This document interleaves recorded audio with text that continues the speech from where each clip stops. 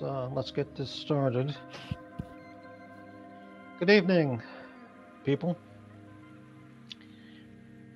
Okay, well, interesting, very very interesting update on the Italian tuna situation, as well as a uh, absolutely spectacular day here. I know no one believes that, but it's true. Well, look who's here, Mr. Mookie. Good evening. Well, I'm gonna let's get right to it, all right? Because I know everyone's waiting.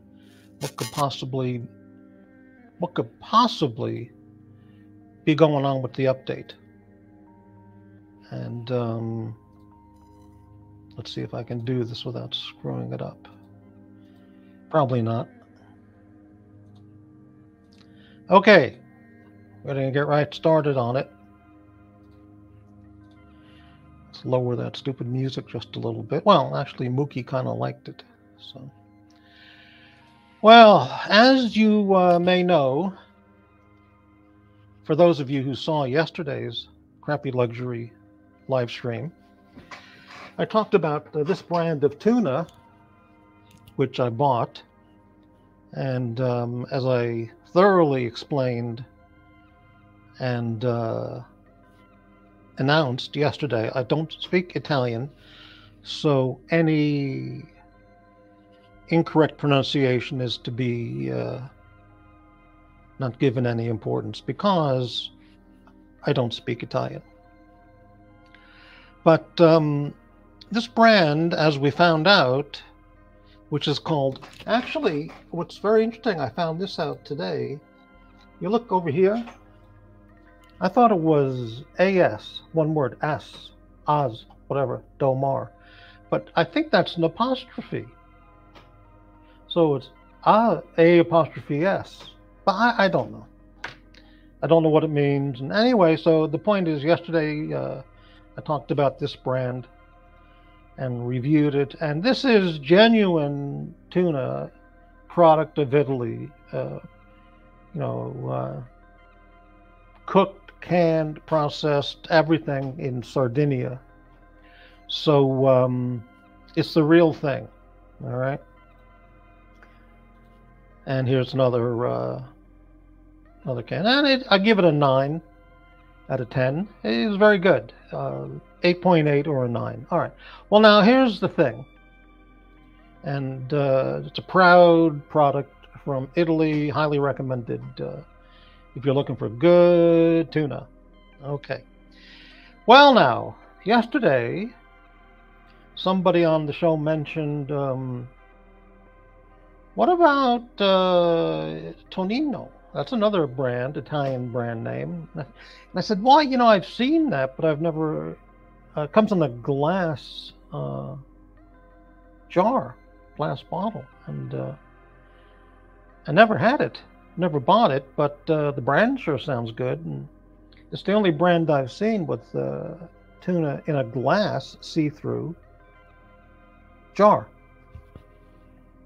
Wow. Okay, let's take a look here. That's this over here, Tonino. Uh, says pole and line wild caught yellowfin tuna fillets in olive oil, 6.7 ounces. And this is a higher priced brand. I don't remember the price. I was at a very expensive, upscale, exclusive uh, grocery store today, and they carried this, but um, my cupboards are overflowing with tuna and salmon and sardines. So maybe in the future I'll get this. But anyway, here's the deal, you know. So you go like, wow, look at this, a Tonino. Fantastic. It's, you know, going to be another Italian, from Italy, Italian tuna fish brand. Well, let's put a pause on this. And uh, let me go. I got too many screens up. Okay, let's uh, let's stop that for a moment. By the way, Let's say hello to Tommy. Rainbow Tomato Garden is where you buy the best canned fish in the world. Well, that's uh, yeah, I've never heard of that. I will look that up. Thank you for the info, Tommy.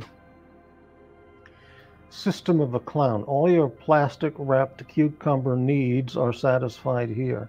Well, we're going to talk about that. Thank you, System. Frank B. Good stuff. Uh, hey, Patel Philippe. Uh, what a thrill. Okay, good to see you. I heard you uh, got a brand new Patek Philippe with the other two guys on that other channel. And um, how about that? Okay, Tommy. El Capricho Ventresca di Bonito del Norte is the best canned tuna tuna you can buy. Really? That sounds that's in Spanish. Is that Spanish? Yeah. Or is it Italian? I don't know. Close enough. El Capricho, El Capricho Ventresca di Bonito del Norte. I'll look for that. Yeah, uh, I can talk about that for a moment uh, later on in the show, Patel. But um, I only have one comment on that, which is um, of no importance, obviously. But um, thank you for that info, Tommy. Tommy knows uh, a lot about uh, the luxury world items to buy. Absolutely. All right, so now I'm going to bring up this next picture here, and we're going to talk about Tonino. Um, uh, what do you call it? Italian tuna. Wow. Okay, this website is uh, T O N N I N O, tonino.com. And uh, there it is. It's all yellowfin tuna. You know, that brand from yesterday, uh, Oz Domar, whatever it was called, uh, uh, that's all yellowfin tuna as well. All right, well, get a load of this.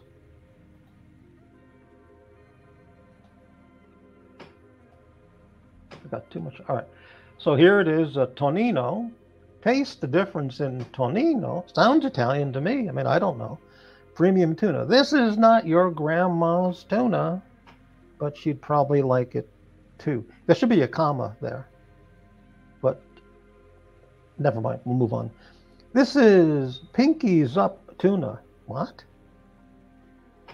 Who the hell wrote this shit? Top quality from head to tail. I think I know what that means, and it's really bad writing. Anyway, okay.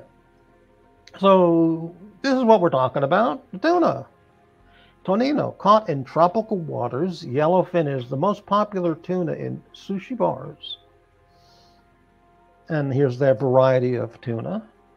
Well, now let's scroll down the page because I looked at the jar in the supermarket and um, look at what I found.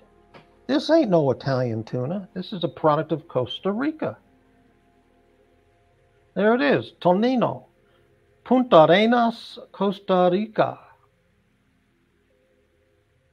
Now, you know, this is a whole issue in, in labeling and packaging of all kinds of foods, food products. Um, the word for tuna in Spanish is atún, if I'm correct, A T U N, atún. But they're not using the Spanish word, okay? They're using uh, and the Italian word for tuna is tonno, T-O-N-N-O. And again, don't correct me if I'm wrong. Well, you can correct me, but don't pick on me because I don't speak Italian. It's a tonno, T-O-N-N-O. So tonino, I don't know what that means exactly, but it sounds Italian. But it ain't. It's from Costa Rica. So I read the jar, and it's uh, packaged, cooked, processed, the whole deal in Costa Rica. So let's look at one of these. Let's look at this one right here. Albacore, I mean, it looks good, right? Um, albacore tuna fillets, very good. And they say it tastes amazing. And it's got all the uh, safe, gluten free, low mercury. I prefer high mercury, but I'll go with that. Chef inspired, I don't know what that means. Wild caught, 100% albacore kosher, all right? Ingredients albacore olive oil, water, and sea salt. And here's all the nutrition bullshit and the recipes. And um, yeah, it's from Costa Rica. So, you know, it's it's is it purposely deceptive or misleading labeling? Yes. Okay. Um, everything is really in marketing. It's all bullshit. So I'm not going to blame this company for anything, but I have to, you know, hats off to that other company, Domar. It's Italian, from Italia, from Italy, and they showed the website was phenomenal. It's the real friggin' thing. Okay, this is, you know, it's you know. Anyway, so you know what I'm saying? You know what I'm saying? It it ain't Italian, but it sounds Italian. Now, let's click that off and go back to um, the other screen share.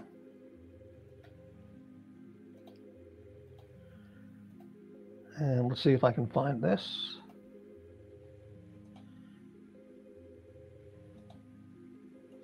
I gotta take that off. There's too much direction going on here.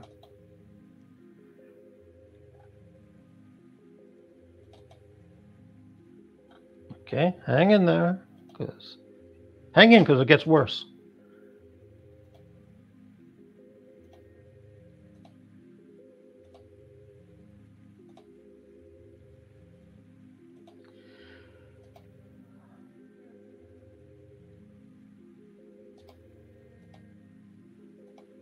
Ah, okay. Got it. Okay. So let's look at this thing here. So this is Costa Rica flag. Okay. My opinion is if it's going to have an Italian name, it should be from Italy. You know, we want the real thing. I do. I don't want an Italian name on something from Costa Rica. Now I hear people saying, "Oh, this guy crappy. He hates Costa Rican and everything Costa Rican." That's not the case at all. I have totally neutral opinion about anything Costa Rican, but you know, they could have called it something different instead of Tonino, because it sounds Italian. I don't know if it is Italian, but it sounds Italian, and that's what the misleading thing is. So this is the Costa Rican flag, and uh, they also use this one. I don't know what the difference is, but uh, they're both the Costa Rican flag.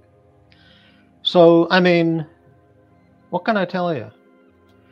Um, is tuna from Costa Rica good? Maybe it's even see, maybe it's even better than the uh, tuna from Italy or from other countries. Maybe it's the best in the world. I don't know, but it's the you know now edamame, which is uh, soybeans in Japanese. This is a notoriously mislabeled product. When you go to your local supermarket and usually it's in the frozen well it's in the frozen section. You see a big bag like a one pound bag of frozen edamame. And it's really good okay? And the wrapping i mean the label the printing the packaging it's all looking japanese. All of it. Every brand there it all looks japanese. Looks like it came straight from japan because you know it's called edamame. But if you return it over and look at the back every one of those says pro- a product of china prc um, it's all deceptive. I don't want pea pods. Uh, I don't want uh, soybeans. I don't want any food items from China. I mean, maybe tea, you know, maybe a teapot. That would be okay, Yeah. unless the lacquer ware is using poisonous lacquer. I, I don't know. We're finishing. But um, yeah, I mean, um, is that too much to ask? So if you look around for edamame or anything you think is Japanese, it's probably Chinese. So you got to read the packaging. You got to read the labels. And you know, so uh, I've talked about King Oscar sardines last night. They, they're supposed to be from Norway, but when you read the label, it's product of Latvia. I have nothing against Latvia. Uh, Latvia sounds good to me, but they should just change. Oh, product of Poland. That's what it is, Poland. So King Oscar's not from Poland. King Oscar's from Norway. You know, anyway. All right, let's go back to the comments here. Uh, okay. Tommy knows shaved ice. Really? Well, okay. Guayu, Guayu Mars tuna is very good. I've never even heard of that brand. Okay. I don't know what that means. Okay. Patel, crappy, just go to the Tsukiji market at 5 a.m. and bid on one of those massive tunas fresh in Tokyo. Yeah, those things could sell for a million dollars. You know, you can get 10,000 cans of tuna from a tuna fish. Yeah. I've been there. I've been to Tsukiji market. Yeah. Okay. Uh, the Decept Decepticon episode, right? Okay. You know what's interesting? I love carrots, but hate carrot soup. And I hate peas, but I love pea soup. A pea cleanse, that's very interesting. We could do a show about that. I like carrot, but uh, carrot soup? Nah, I know what you're talking about. Okay. Crappy, know anything about the anthrax attacks or the Tylenol scare? Okay, well, what anthrax attacks and what or which Tylenol scare? Can you give us some details there? Uh, good evening, Spring. So, DiGiorno is not authentic Italian pizza?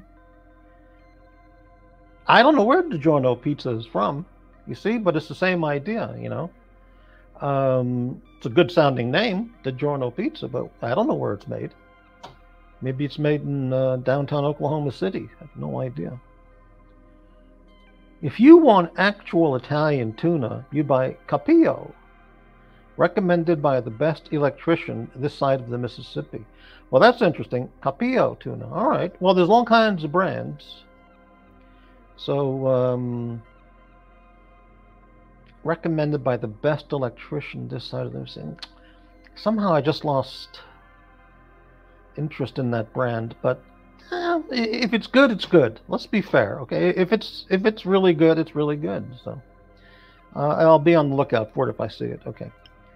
What's more polluted, the Caribbean or the Mediterranean? It's a very good question. I have never thought about it, and I don't think about things I don't think about. You know, so I don't know. I don't know.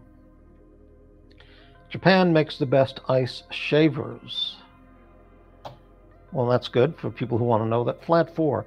Bonito del Norte tuna in olive oil. Bonito del Norte tuna in olive oil. Do you know what country that's from? Okay. Crappy is Folgers considered gourmet instant coffee. Folgers is the worst fucking vile shit. Um, if I were in a position of authority in the prison system, I would not even order Folgers coffee for the chain gangs it's just it's just, it's not even suitable for chain gangs. It's um it's awful, absolutely awful. Okay, uh, Patelit, perhaps you haven't seen my coffee shows. We've talked about that. Mike the solipsist. By what year will the masses be, be eating and Green as dictated by Schwab? Oh, coming soon, I'm sure. Uh, terrific film. The anthrax attacks in 2001, a few weeks after 9 11, and Tylenol bottles that got tampered with the 19 within the 1980s. Yeah, yeah, I remember all that. Um, that's a whole change of topic. I've got to focus on the tuna and then the cucumbers. But for a future show, we can talk about it. I don't remember the details on the anthrax thing. And uh, Tylenol company went into uh, um, massive image protection, uh, reputation protection with the CEO. I remember that, but I, I have comments about that actually. Okay. Flat four, crappy. The best tuna is in the deep Atlantic. Many countries pack and process, but the Japanese prize deep water Atlantic over others. That's very interesting. Um, I know things about Japanese tuna. I can talk about that. I'll show you on a map. Uh, yeah, okay. Uh, I spent nearly $2,000 on a Hatsuyuki HZBE ice shaver. No more crunch. I refuse to crunch. $2,000 for a shaved ice gizmo? Wow. Okay, uh, yeah, right. Right, okay. Um, flat four, Spain. Oh, really? Okay, that sounds good. Uh, the Tylenol, the Tylenol scare led to a big increase in the amount of packaging we have to claw our way through to get to the contents. You're absolutely right, Spring. Absolutely. Um, is it only for puck ice or all forms? You're not going to talk about curling, are you? So, okay. So um, that wraps up the uh, Tonino deceptive uh, naming of their tuna. You know, I mean, I'm all for Costa Rican tuna and Costa Rican anything, you know. A lot of Americans like to go there for retirement and live out uh, in very nice communities uh, in Costa Rica. But uh, come on, if it's from Costa Rica, you know, give it a Spanish name. Don't give it the Italian. Eh, whatever. All right, we're going to talk about cucumbers. All right, now I discovered something this last week or two about cucumbers. First off, I'll say I, I, I like cucumbers as much as the next guy. Uh, I rarely buy cucumbers. Why? Because I usually have frozen vegetables and of good quality, and they're really good. When I buy fresh produce, you know, it gets lost in the refrigerator, and then uh, two weeks, three weeks later, I see it in the back of the fridge under under, you know, a box of something, and I go, "What is that?" I go, "It's those fucking cucumbers," and they're all green, yellow, and moldy, and holy shit, you know. So I, I don't buy fresh veggies that much, you know. I bought two apples today, but um, I pushed positioned those right in the very front of my fridge, so I'll get those uh, eaten pretty quickly. Now, a cucumber a cucumber. You know, they all look the same. You can buy a cucumber. You can peel it. You don't have to peel it. Uh, you can eat it. You can uh, put it on a sandwich. Uh, there's all kinds. Of, you can make cucumber this, whatever. You know, cucumber salad is pretty good with some vinegar. However you make that. And, well, anyway, I was over at Costco Here's uh, cucumbers. You know, these are what they all look like. Cucumbers. Cucumbers. Okay. And I saw these things over at Costco. And I go, what in the fuck are these? And this the little sign said English cucumbers. Actually, I saw these a long time ago, but I never bought them because I thought, what do you do with them? So I never bought them. That's English cucumbers. And here they are all wrapped up. And uh, so I bought a pack. I bought a three pack of uh, Costco English cucumbers. That's regular cucumber, right? And here's the English cucumbers. And uh, yeah, here's another good picture. So I've never eaten an English cucumber. I've never done anything with an English cucumber. Why are there English cucumbers? Is there? Does anyone know? Is there a difference in taste or crunchiness or flavor or anything between the regular cucumber variety that we all know versus this English cucumber variety. Okay, because the fact is, um, I bought a package of three from Costco, uh, and yeah, here here they are, and I don't know what to do with it. I don't know what to do with them. I have no idea what to do with it. So, does anybody have any suggestions of what I can do with the English cucumbers I bought? Um, I know a lot of people are into uh, haute cuisine, so maybe there'll be some ideas for me. So I bought them. I got three of them in the fridge, but I don't know what to do with them. So um, let's go back here and catch up. Would you say luxury is dead? No, there's always going to be wealthy people, and wealthy people always buy you know expensive stuff. And there's always going to be wannabe poseurs, and you know they'll use their credit card or take a HELOC loan and uh, buy the luxury stuff too. So, but um, but what about that guy? Um, uh, you know, the rich guy in the Middle West. Um, you know, the guy who lives in the old house from the 40s. Uh, the big investor guy. What's his name?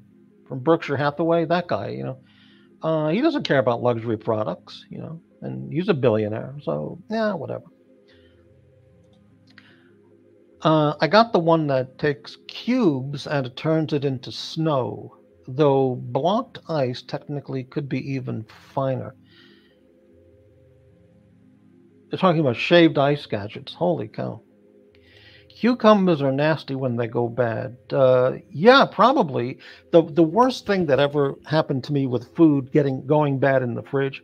I bought some brand of yogurt. It was some, you know, super organic, non-GMO, grass-fed, uh, you know, California dairy brand. And I thought, well, I'll try it. I forgot the name of the brand. And just your basic, you know, what are they pint, like a quart container. And again, it got lost in the fridge. I had uh, maybe one serving of the quart container, and it just got shuffled towards the back, and I've all those Taco Bell wrappers and bags just covered it all up, and I forgot all about it. And then I found it, and I go, "Holy shit! When did I buy this?" So it was about half a container, and I opened the lid, and the inside was a bright, glowing green, in all kinds of like ridges and shapes and stalagmite, stalactite kind of shapes. So I closed it uh, in a fraction of a second. I went, "Holy fuck!" So I got a uh, plastic garbage bag, one of those 30 gallon lawn bags, and I threw it in there. Then I immediately, you know, sealed it up and threw it in the dumpster outside. And uh, holy fuck. So that was um, pretty nasty. Cucumbers are great for gin cocktails. Really? Okay, well, I, I all right. Cucumbers are for the plebs. Zucchini is for the true enthusiast. Now, what is the relationship, uh, botanically speaking, between cucumbers and zucchini? They kind of look a little similar. They're long, similar girth, similar length. We're talking cucumbers. Um, green. So I, I don't know, but the squash is a cucumber or squash family? I don't think so. So it's just a similarity of some sort. Now, today I also bought two organic yellow squash. I like those, but um, okay. Um, man, this machine is what people take to parks to snort a snow cone business. HELOC are a great way to finance ice shavers. Okay, I'll keep that in mind. English cucumbers. Oh, here we go. Somebody who knows this. English cucumbers have thinner skin and few, if any, seeds. They tend to be sweeter than regular cukes. Now, you see, that is very good information. I've had them in my fridge for about three days, so they're still very fresh or fresh enough. And so tomorrow, now that I know something about them, Spring, I'm going to uh, I'll have one for lunch tomorrow. And uh, I like cucumbers peeled and not peeled, so I'll just wash it off, and uh, I, you can easily get two-hand grip on it, if you know what I mean, and wash that thing, rub it back and forth, and wash it, and and uh, I'll slice it up, and then just you know include it in a salad, a big salad, and um, I don't know what you mean, Crappy. Dairy Queen is as elite as it comes. What are you talking about? You lost me, Tom. Uh, I watched the boats in the AM going to Logan with fish. About all the East Coast tuna is overnighted right to Tokyo. U.S. won't pay the high dollars. There's um, two fishing ports, cities in Japan one is in Aomori Prefecture, and I'd have to look at the map to remember it. And the other one is called um, Kesuma, I think. I don't remember. And they, uh, especially the one in in the uh, Aomori Prefecture, they those fishing boats don't go in the regular tuna fishing grounds. They go way, way, way, you know, like you know where the ocean ends, and they fall off the planet. They go way out there to find this tuna that other boats don't really go to that part of the ocean. And that tuna is very expensive. And that tuna is used at the premier sushi places in Japan. And um, um, I have to look on a map again to remember the name of that town. But um, you are correct. Um, so you're saying the boats uh, on the east coast of what? Of America? What is Logan? I say you lost me there. Uh, yeah, Tommy does what? Okay. My wife said, "My uh, yeah, okay, ten dollar, right." English cucumber, right? Exactly. Cucumbers are fruit. Zucchini are vegetables. Well, now how about that? See, that's very good information. Okay. Zucchini are great sauteed in olive oil with peppers and mushrooms. Oh, zucchini are fantastic. I like um, zucchini. I like squash of all varieties. Did anybody ever go buy from the grocery store or produce market uh, uh, delicato squash? it's a yellow cucumber kind of shape, but larger. And it's got uh, striped colors on, like red, yellow, green, whatever. And uh, you got to cook it in the oven or I forgot, but oh man, it, it is extraordinarily good. Delicato, D E L I C A T O. You got to look for it. It's incredible. Um, Spring puts cucumbers in his fruit salad. What a wacko. Avocado is a fruit too. You know? Okay. Uh, oh, he's the wacko. Okay, got it. Yeah, there's also Persian or cucumbers. There's all kinds. So I was doing some reading. There's all kinds of cucumbers. I didn't know any of this. There's like eight varieties of more than there's a dozen. There's all kinds of cucumbers. Some of them look really funky. Uh, tomatoes are also fruit. Tomatoes and cucumbers go well together. Yeah, absolutely right. They go fantastic. Yeah. So, um, any suggestions of what I can do with these uh, English cucumbers? Um, all I can think of to do is just you know wash them up and uh, maybe slice them and uh, put them on a salad. Does anybody have any creative suggestion or of what I can do to to to, to enjoy the English cucumber experience besides just slicing up and putting it on a salad? I mean, you don't really cook cucumbers; they don't really cook well. Well, you can't cook them at all, really. You know. Um, mm-hmm. Boston. Oh, you mean uh, oh Logan Airport? Is that what you mean? Boston? Okay. Right. Uh, cucumbers, tomatoes, and avocados with a little Italian dressing. Yeah, I don't. Uh, I don't buy avocados. Um, but uh, I like guacamole, but I've never bought, maybe once ever, avocados. Um, I'm not an avocado kind of guy, though uh, I do like it. But uh, I don't know really how you select one and they go fast. They go bad very quickly in the fridge, you know. So, well, okay. So, um, that's the English cucumber topic. I will uh, experiment with the English cucumbers and uh, see what I come up with. I'm sure it'll be uh, interesting, maybe worthwhile. And um, yeah, okay. So now what we can do is Hendrick's gin with tonic and float a slice of cucumber on top. I've never had Hendrick's gin. Okay, Hendrick's gin with tonic and float a slice of cucumber. Now, what do you do with the cucumber? Do you eat it during while you're drinking it, or is it just for decoration? Or here's a very interesting question. Crappy, what's softer, mink or chinchilla?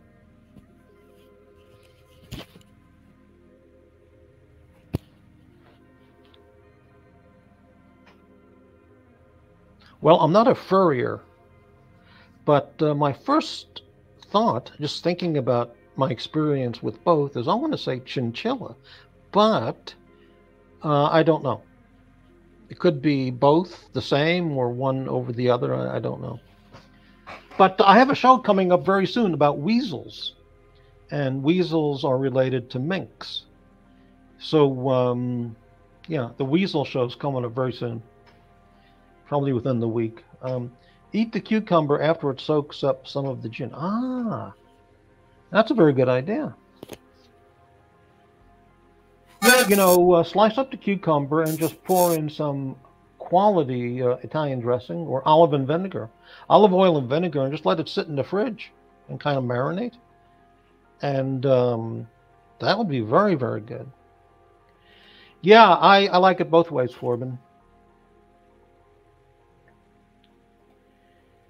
Um, I don't know if we could sell weasel fur successfully. Well, I don't know. I'm not a weasel expert. I mean, the animal weasels, you know, or minks, but um, I don't know much about weasel fur. I mean, I don't know if that's a marketable fur for, you know, fashionable people, but, um, you know, it's kind of like a squirrel fur coat or a raccoon it's it's lower on the list of desirable elegant furs, I would imagine. Uh, I can only think of a couple Bavarians who'd want that. I see. Oh, barbarians. Oh, a little difference there. Let's get the invite link up there. And uh, I have no more to talk about about anything, so it's up to whoever comes on if they want to introduce a new topic or just talk about uh, the same topics. Really tired, so I don't know how long we'll hang on. But, um, and of course, anybody can come on and talk about whatever they want. And as I always say, you know, when I say anybody, that means, well, you know, most anybody. Oh, the audio's bad again. Hold on, I'm going to unplug the mic.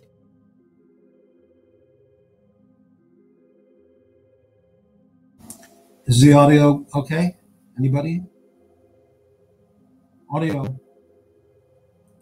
We have our first guest. Hey, Crappy. Good evening.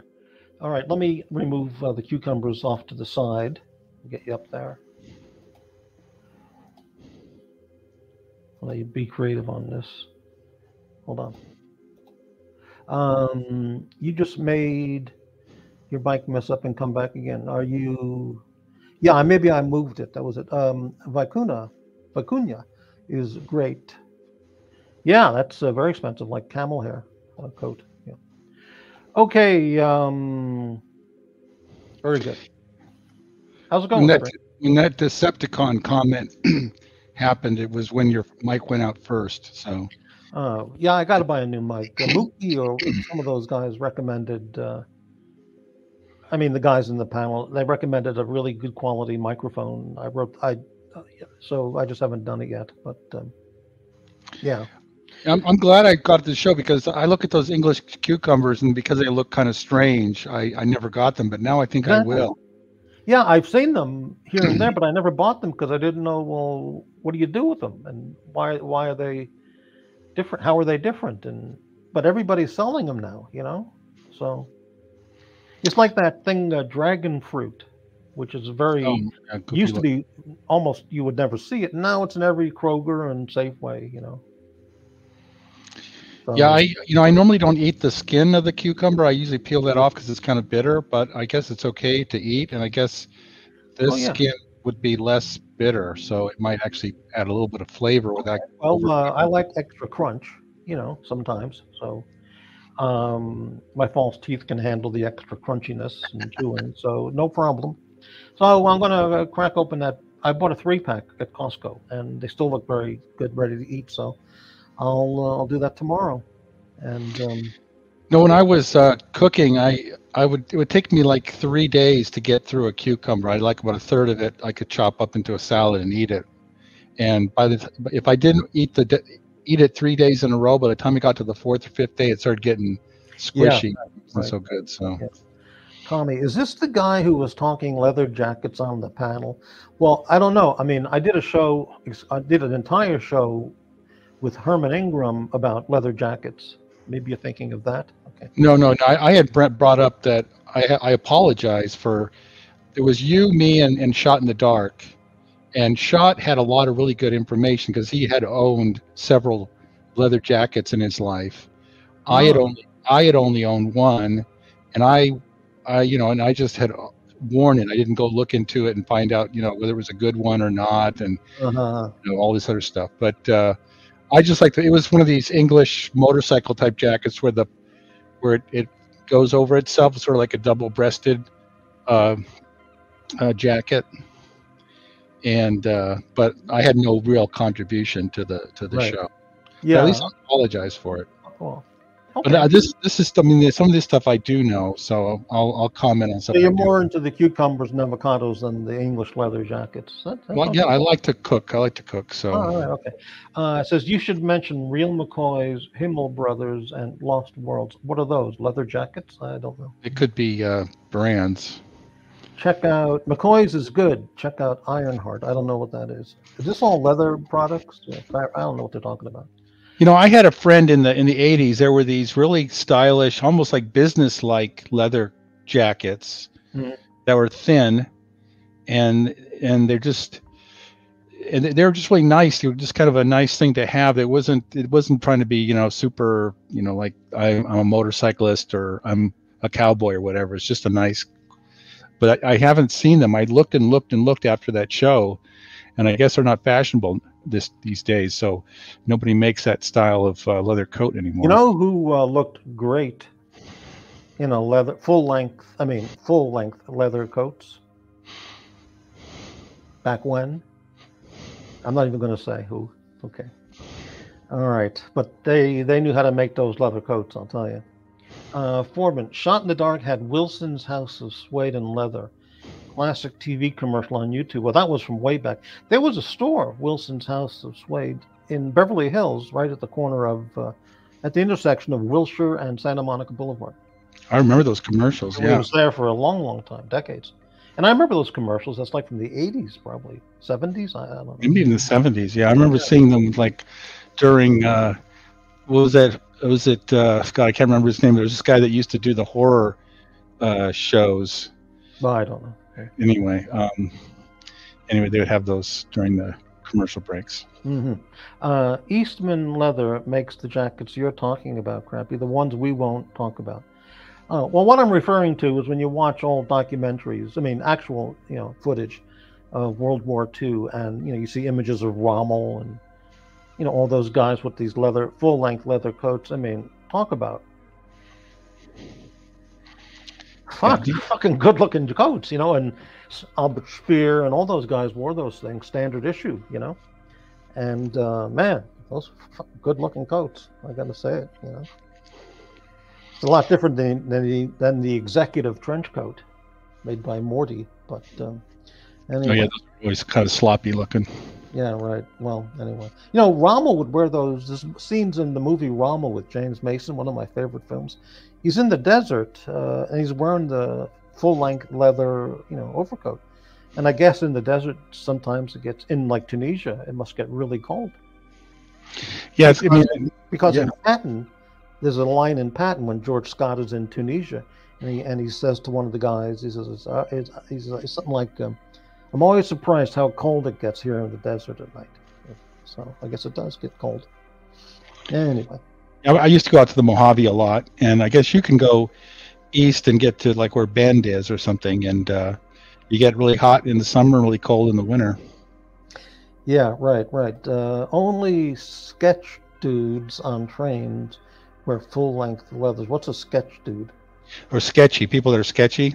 Sketchy? Really? I, I don't know. I mean, I don't Actually, really see that here. But It's uh, interesting. Um, if I were to get on the uh, metro for some reason in LA, Mhm. I would wear a full length leather coat so that people wouldn't mess with me, or there'd be a slightly less chance they'd mess with me. Oh, really? Yeah, I mean, I I used to have an old- really ugly old coat, but I could it, I threw it away because it was just so ugly and old. But I think I might go to a, a secondhand store and pick one up if I ever have to need to go on a. Because I just don't want people messing with me because they're just people that will mess with you. Isn't uh, in that movie Matrix? Didn't that guy wear one of those full-length leather coats? Exactly, exactly. Yeah. Uh, who was it? Um, Neo and uh, it was uh, and the other guy, uh, uh, Morpheus. Larry Fishburne. Uh, uh, Yeah, Morpheus. He was Morpheus. yeah, I saw some interview with him when the report. The interviewer called him Larry Fishburne, which is how he was billed, like in Apocalypse Now, and when he was young, and he called him Larry, and he said it's Laurence Fishburne. Yes. Larry was a teenager. Yes. Good. Okay. Yeah. Only his friends call him Larry, right? Yeah, right. Like Laurence Olivier. Right. Anyway, I just moved the mic. I hope it doesn't fuck up again. All right, so um, you can buy a World War One German flying coat for sixteen hundred. Yeah, you can buy all those uh, stuff, all that stuff. But um, but anyway, it's what the Red Baron wore. All right, very good. Let's get off of that World War II uh, German. Was going back to the tuna real quick? Uh, I yeah, I looked up that we, the one I used to get. I wasn't a big fan of it, but I would make it for my mom. She liked to have tuna sandwiches, and and um, I got her the Genova stuff because it had the olive oil in it. Yeah, yeah, yeah. And uh, and then I, I just I just looked it up because you know you said real Italians. I said, well, maybe this isn't real Italian. Well, it Turns out, Italian. It says Genova. Yeah. well, it was really Italian. It was you know canned in, in Italy, so they probably fished it in the Mediterranean. Right. then it got bought up by Chicken of the Sea, and they moved it, they moved it to maybe San Diego or something. So canning. Oh, I'm gonna look next time I'm at the supermarket. I'll look at a can of uh, uh, Genoa. Is it? It's Genoa, not Genova. I don't no, know. Gen- no, it's Genova, but Genova. Genova is uh, the Italian way of saying Genoa or something. Okay. Versa. Yeah. Uh, if it's uh, from San Diego, that means it's mass produced by the Chicken of the Sea Company, and in that case, forget it. Well, the worst thing is, is that the Chicken of the Sea company is owned by some Thai conglomerate, which means they might actually get the fish from from Vietnam or something, which is even Yeah. worse. Well, now you see, uh, Thailand is one of the world's biggest countries for uh, tu- uh, canned uh, for tuna and fish products, cat food, dog food, all fish products. And I buy lots of uh, tuna fish. It says product of Thailand, and there's no problem with that. Okay, it's very uh, state of the art uh, factories there. But um, yeah, where is that tuna being caught? Is it being caught in uh, downtown uh, Shanghai or uh, you know where? So it's like tilapia. You know, Michael Savage said uh, one time I was listening to him. He said tilapia. He said, Don't ever buy tilapia. It's total garbage fish. You know, and uh, it's mainly from China. It's just garbage fish. So when I was at this super upscale luxury uh, supermarket grocery store today, they had some frozen tilapia. You know, really expensive. I looked at the wrapper and it said, "Yeah, product of China." So I said, "Funk this," you know. Well, Well, you know- don't ever buy tilapia. Even worse, you know where another place has tilapia is uh, the Salton Sea, which is a Oh, real na- nasty place. And I think for a while there, they were actually getting some tilapia out of the Salton Sea. Ugh. Ugh. That's like that's like the river Styx. I mean, that's like the that if you want to go, if you want to find hell, get get get a boat on onto the Salton Sea and float down it and see. Yeah, what you um, making you know catching catfish in Lake Texoma or Lake Dallas or somewhere like that sounded a little better, you know, Oh God. or you know Lake uh, whatever. But um, you know, Well, you know, they just found out recently that uh, the medical industry, all the hospitals and stuff, had been dumping all their radioactive waste into the Pacific Ocean off the coast of California, mhm. and, and then all that stuff is still emitting that radiation.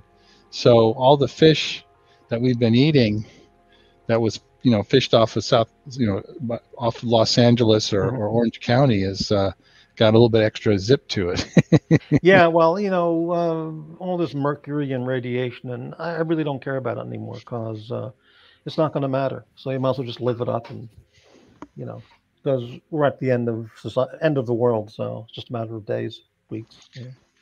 Yeah, I was reading this report that they were trying to claim that coal killed like 500,000 people. And uh, to me, it's like, well, coal kept millions of people warm in the winter and cool in the summer. Mm. And and there's a lot of people that die because of heat waves when they can't afford their electric bill or, or freeze to death when they can't afford their their their gas bill and the heating bill. So um, you know, you gotta you gotta balance things out there. Yeah, what about uh, cigarettes? You know, how many hundreds of thousands of Americans die every year from cigarettes? But uh, Joe Biden wants to ban uh, rifles and firearms because uh, cigarettes aren't in the Bill of Rights, you know, but that's a whole different topic. Uh, Herman Love is here. He says, What happened to Ross on today's stream? I don't know. I, I didn't see it. I, I don't watch the Archie channel much at all. That's a new uh, guy. I've never heard of Ross. Who's Ross? oh, Ross Rachel Brady. You not familiar with him? No. Oh, I don't know whether I should tell you about him or not. Ross is a regular uh, featured panelist on uh, Horology Dungeon and Archie Luxury. He's from Arkansas, Okay. and um, maybe other people can tell you about him. Uh, yeah, uh, yeah, whatever. But I don't know Herman. I, I didn't. I don't watch the show much, so I don't know. Does anybody have information on Ross Rachel Brady today? Okay, for a great little documentary narrated by John Waters titled "Plagues and Pleasures on the Salton Sea." Is that Oh, that sounds real? good. That sounds good. Yeah, because John, you did all the crazy, like what pink flamingos. Yeah, right. He's a Something like real weird guy. Yeah. I've seen a real, real movie he made. Real I've seen, uh, I've seen a number of documentaries, and there's also the movie called, I think it's called Salton Sea that has, uh, oh, uh, what's his name, Val Kilmer in it, and it's about a bunch of meth heads that live down by the Salton Sea. And that was a good movie. Um, kind of depressing, but uh, there's a lot of funky people that live by the Salton Sea. I wouldn't go there. I mean, I've driven by, I've driven through there, but I wouldn't stop because it's you know a lot of people on the edge, right? So some of them are just real friendly and they just want to get away from society and they're just you know want to be friendly and all that. But other ones are are there because they can't deal with other people. And if you say the wrong thing or do the wrong thing, you're in trouble. Mm, hmm Right. Well, how about that? Yeah. Um, let's see here. That movie, that that's a real movie. You're saying real documentary. It's on uh, YouTube or PBS. All right. Um, I don't know. John Walter, John Waters. mm, I did see Pink Flamingos in one of his other films. Um, that was like what in the seventies. Um, I think so. Yeah. yeah, right. With uh, what was that guy's name? Divine, who uh, ate the dog shit in the movie or something. Yeah. When I heard that, I, I just said I was never going to watch that movie. I think I I watched the movie about him, about his. Uh, there was a movie about John Waters. It was a. It was sort of like. Uh, there was a movie about the guy who did Plan Nine from Outer Space. Ed Wood. Yeah. Yeah, and that was a funny movie. And I've I actually, I. Very good film. Yeah. and I saw Plan. Nine. I actually went and saw. Then after that, I saw Plan Nine from Outer Space. that was a bad Wow. movie. A, what a double feature. Yeah, the story back then was in the movie Pink Flamingos. This guy uh, Divine, and I saw the movie. I don't remember it though. It's what seventies. Yeah, he uh, he was walking around behind a dog, and the dog pooped on the sidewalk, and he picked up the shit and ate it. And then it was all it was all. Did he really eat dog shit, or was it just you know, you know, fake? But I don't remember the uh, the details on that. Um, Herman's on the Van Wyck Expressway in New York. How about that? Oh wow! So he's visiting his old his his uh, his old stomping grounds. Well, I think he only was there for a year. Uh, Yeah, but, uh, but he was in music school and all that, so it must have been a That's very, right, mem- that's right. very memorable time. So Yeah, he must have- said that was his best year of his life was in the year in New York. So. Yeah, all right. And uh, something's a cesspool. What's he talking about? Well, it's now a cesspool. I- He's probably saying it's now a cesspool because Oh. all the Maybe. Yeah, right. stuff that went on. Yeah, yeah. All right. Well, the link is posted, folks. If anybody else would like to join the panel, um, let me get that up there. And again, when I say anybody, I mean, well, you know, most anybody. Yeah. And um, so, is that your usual brand of tuna, uh, Geneva? So I, I'm not a big fan of canned tuna, um, Uh-huh. but uh, I would when I make it for other people, I would have the tuna plus uh, a, a, a similar can, those the small cans of green chilies, diced green chilies. Yeah, right. You got to squish squish all the water out of the chilies. You squish all the oil out of the tuna, and then you mix it with a little bit of mayonnaise to get it to stick together, and that makes a pretty decent um, tuna sandwich. You just spread that on whatever your favorite bread is, and that makes a good tuna sandwich. Really, I've never bought those uh, little green chili things. I, I don't like. Uh, oh, They don't those have- aren't, those they're aren't not- spicy, are they? Or, Oh no, they're not spicy at all. They just add a little bit of. They're more sweet than anything else. okay, maybe I know what those are. Yeah. And Okay. uh, Yeah. the other thing, I think I've shared this before, is the tuna patties are really good. Where you take uh, Oh yeah, yeah. you take uh, mashed potatoes, essentially stiff mashed potatoes, and you mix them with tuna. Uh, I do chopped onions and an egg, a raw egg, and you you make them into patties and um, and you fry them up. Yeah, even better than that is salmon patties, and uh, th- those are really great. Yeah, but folks, I've seen, I've seen where people actually put a coating, like a flour or something, on the outside, and they basically fry them up. yeah, I right. never, we never did that. We just, we just, and it, it was harder to just try to fry up the potatoes by themselves because potatoes got so much water in them that Mhm. boil for a long time before they finally start crisping up. But Yeah, right. Uh, Crampy, you ever into Lionel trains? Yeah, when I was a kid, I had train set.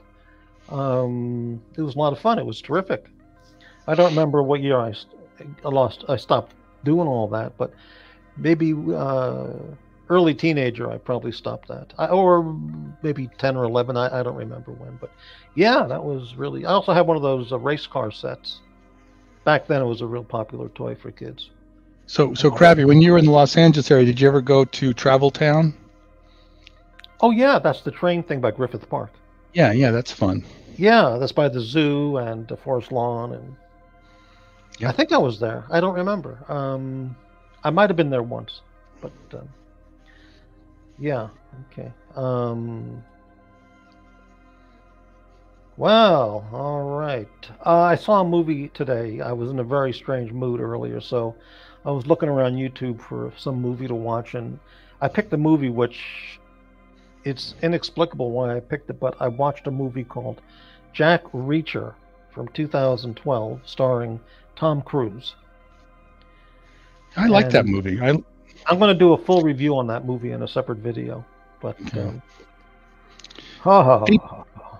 people hated it because the the the the, the purists who read the book, it's clear that Reacher is a very tall guy and Tom Cruise is a very short guy. yeah. Well, there's a TV show on some HBO or some channel uh, on Jack Reacher. It's been on for several seasons, and the guy is really big. Who plays? the Yeah, Jack. the people who are the purists love that TV show because they say finally they got Reacher right. Yeah, you see, but Tom Cruise, I, I'll, I'll save all this on the other show, but he portrays these characters that have nothing to do with who he really is, and he can't pull them off. It's like, you know, he played uh, Colonel von, um, the guy in the Nazi. Um, Okay, he's trying to kill Hitler, right? uh, I'm sorry, I just forgot his name, but that guy was like six foot four, you know, and a real war hero, and, and a noble British, a German, fa- no, a German nobility uh, ancestry, and Tom Cruise is ridiculous. And in that movie where he's in Japan with the samurai, and he's portraying this Civil War uh, hero soldier, it's like just a joke, you know. And in this movie, he. Uh, he, he doesn't fit the character at all. You know, he's not impressive uh, physically or uh, he has no powerful aura or no one would fear him, you know, but the guy in the TV version definitely fits the character. I mean, it's just ridiculous. Yeah. Well, it's, you know the thing about it is a lot of times they have to put famous people in to get the funding, right? They don't get the funding for the film unless they say, okay, we, we want to. Well, Tom Cruise, you know, he, he he produced it and he, he he just makes whatever he wants and that's fine, you know, but uh it is- he can the buy way the he- right. the way he views who he is is just uh, his ego is just massive. Then again, you know, he's built one hell of a career. You know, monetary, you know, uh, decades long wise. That is not you know not quality, but content. I mean, uh, number. Uh, what am I saying? Quantity wise. And he's still a big star. So what can I say? He's uh, there's rumors that he's second in command of his church. So Yeah, that's the big that's the big story that he's number two after um, uh, David Miscavige in Scientology. Yeah. Um, hello, Blondie. Okay. I just learned of a documentary called "A Century of Lionel Electric Trains." That's on YouTube and is narr- narrated by Tom Snyder, who was a big. oh my God, Yeah, he talked about that on on his uh, Tom Snyder Tomorrow show. He was really into trains. I got to watch that. And I I'll like look for that. That's uh, that's really good information for him, and I'll take a look at that. No, this is Spring in Fialta, uh, uh, Blondie, not Patrick. I'm not. I'm not trying to get in touch with my AD to That's get my. Rolex. Right. But I, I, I understand I can actually go in and get something now. So I'm gonna. I might look. I might start looking. Right, right, right. No, it's not Holden. No. Yeah, Spring in Fialta is a uh, guy in Southern California. That's all we can say. And he's uh, he doesn't know who Ross Rachel Brady is, Blondie. Uh, he just so uh, Herman just said, "What happened to Ross today on the Archie show?" But I don't know. But uh, um, anyway, I don't qualify for the uh, the Archie show. The most expensive watch I have has an MSRP of twenty five hundred dollars. well, Which I got- nice. Yeah. I got it for eight hundred. So I mean, I, I I would qualify in terms of getting a deal, but that's about it. What what watch is that? It's an Alpina um, Ina. Yeah. Right. mono uh, mono pusher uh, chronograph. Uh huh. Yeah. So- Um, what's his name? Uh, Higgins knows all about Alpina. He was talking about that on some channel. Oh, okay. And um, yeah. All right. Um, Tommy R L uh, L Ron. It's L Ron Hubbard is on the panel. No, no. I watch a lot of uh, Scientology related uh, videos, documentaries, uh, interviews with the people who've escaped, or you know, and um, it's really uh, just and Tom Cruise's connection with all that and the leadership and the Clearwater, Florida thing and the Hollywood Center and oh, it's just unbelievable. Yeah. Reacher has been free on Amazon. He had a muscular football player body last year, but bulked up even more to become a massive monster of a man. George might say he's one big son of a bitch. Right. Okay. Got it, Foreman.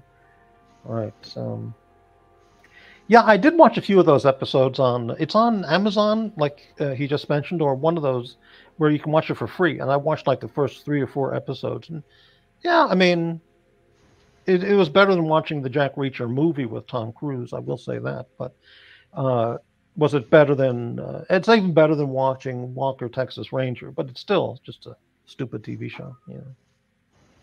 But um, yeah, the lady from the King. Yeah, what's her name? Um, uh, Remini. Uh, Remini. Um, I forgot her name. Yeah, she she got out of that, and she she talks all about it. Leah Remini. Yeah. I never watched that show, The King of Queens, whatever it's called. Oh God, it's horrible. I I watched it. They're so mean to each other, and I thought I would like it because uh, the guy who plays George's father, um, uh, Stiller, Jerry Uh, Stiller. yeah, j- he's hilarious on on Uh-huh. um, but he's horrible on King of Queens. He's a miserable skinflint who only cares about himself and uh, in really kind of a mean way. It's just uh, it's really a horrible uh, show. I don't know why it lasted so long. Tommy's making fun of you. Oh, they're so mean. Yeah, I know. I mean, I just uh, Yeah. it's supposed to be a comedy, right? I mean, it's okay for them to poke fun at each other, but they're they're basically they do things. Well, the There- Roseanne show was vicious, mean humor, and I never found that funny at all. It was pretty Yeah, just it was garbage crap, uh, crap TV. Um, uh, I don't find her funny at all. She's really a unpleasant. I mean, but yeah, um, watch Seinfeld, Sopranos is, is- a mean is- comedy. Yeah, exactly. No, it's Sopranos is mean, but that makes sense, right? They kill each other. Yeah. Yeah, Honeymooners uh, is mean. Uh, Ralph Kramden is mean to his wife, but at the end they kiss and make up, and you know, and all that. But Andy Griffith Show and Dick Van Dyke and uh, Frasier, these, these show, Cheers, they're not mean. Yeah, Well, I, Tommy asked me, how do I feel about Modern Family? I refuse to watch that show. It's too politically correct. Many um. I never watched King of Queens, whatever it's called, because I looked at it one time and I saw the guy who plays the lead, the, the fat guy who's married to Yeah, Leah yeah. Remini. And I go, who the fuck is this guy? My mailman's a better actor than this guy. So I never watched it. I gave it like 10 seconds. So that, Uh, I that's mean- the reason for that. Yeah. I mean, I don't know if there's right now if there's a TV show I could follow for.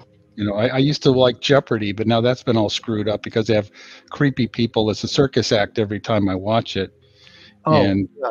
Jeopardy. Is that, well, Alex Trebek is gone. Is there a new host? Well, the, the, I like the host. It's Ken Jennings. He was the guy who who was the first guy to like go like 70 episodes or whatever. He made over a million dollars, and he's a, a likable guy. Well, and he, he was, a he was a player. yeah. He was a player. He was like the the biggest. He was the most famous Jeopardy player for a long time. And he's the host now.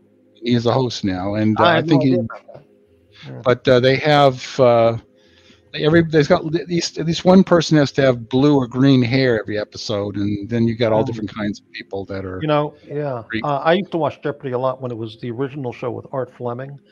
And I don't remember for sure, but I'm pretty sure that I went to a taping of the show in New York in NBC Rockefeller Center where they taped uh, Jeopardy.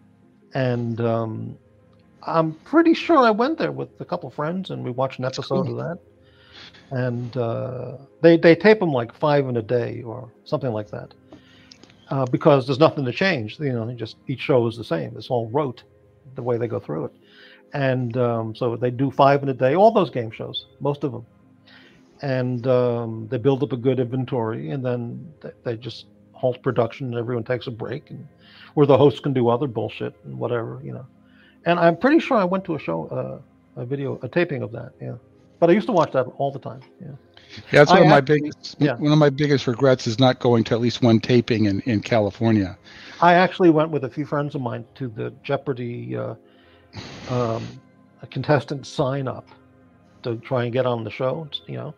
And, you know, all of us were pretty fucking smart. And um, they filmed it at, they did the audition or interviews at KTLA on Sunset. KTLA. Oh wow, okay, I know where that is. Yeah, right. Yeah, and they do a lot of videos, a lot of shooting from other shows on that same lot. And uh, we tried it three times, like a year apart, and none of us got picked. I, I, I couldn't believe it. Well, I believe it, but I couldn't believe it. Well, the, the two times I, I just happened to be um, in some type of a, a a group outing at a hotel, Yeah. and the uh, the Jeopardy bus happened to be there that time. So in both cases, they gave you like a a piece of paper with like ten questions on it, Mhm. and I answered it, and then um, I was with a girlfriend, and she also filled it out hers, and um, I got picked and she didn't. So obviously, you had to answer I don't know nine out of ten or something like that. Well, they so also. then they yeah, go ahead. so then they the next step is they bring us all the people that passed that first test got in this huge this this room. It's sort of like half the size of a basketball, uh, a high school basketball Mhm. arena, and there was like a basically uh, stands on one side, and you, you sat in the stands, and then there was a TV screen, and you basically had a bunch of questions that come by, and you had to pretty much answer them as they went because there was no way for you to remember and go back and figure it out. Well, I don't remember. They did it differently at when I auditioned, not auditioned, interviewed, you know, or applied, and um, I don't remember what they did. They gave us a written test, or and then they talked to us.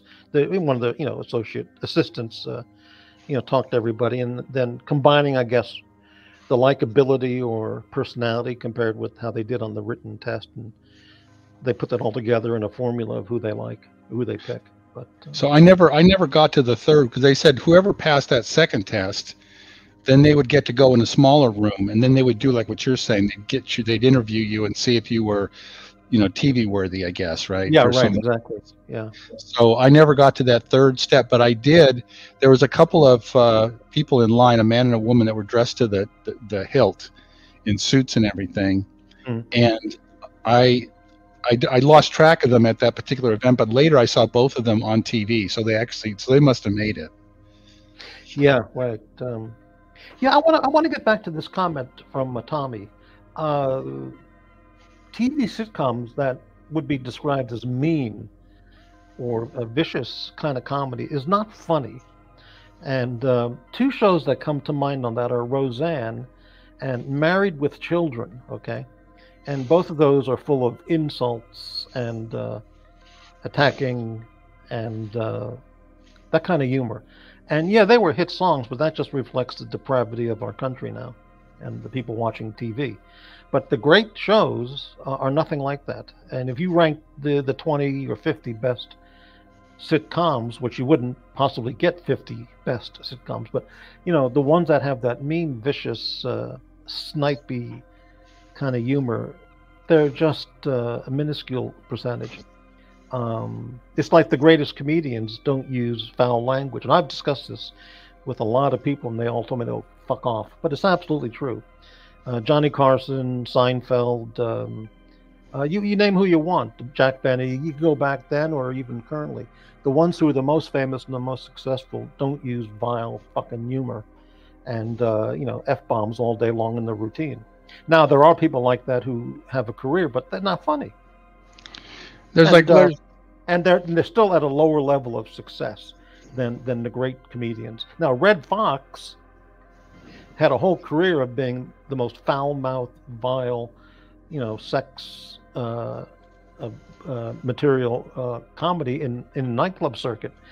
But when he got um, in uh, Sanford and Son, his whole career changed because that was a clean, funny show, and that's when he became a giant star the years of struggling, you know, in these little crappy comedy clubs around the country doing his, you know, vile X-rated act, didn't make him famous.